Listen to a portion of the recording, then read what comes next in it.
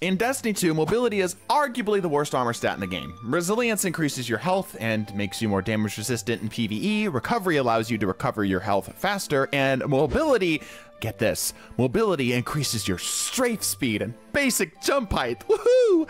Yeah, useful in PvP, sure, but almost entirely negligible in PvE. Yes, this does make the Hunter's class ability come back faster, but the other stats also make the other classes class ability come back faster, so that's not really saying a whole lot. So here's my idea.